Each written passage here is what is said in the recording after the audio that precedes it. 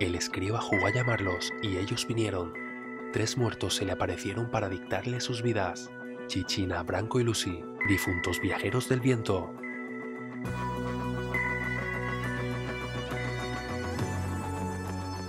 ¿Pudo Chichina vivir libremente su sexualidad? Ella debió esconder su verdadera vida.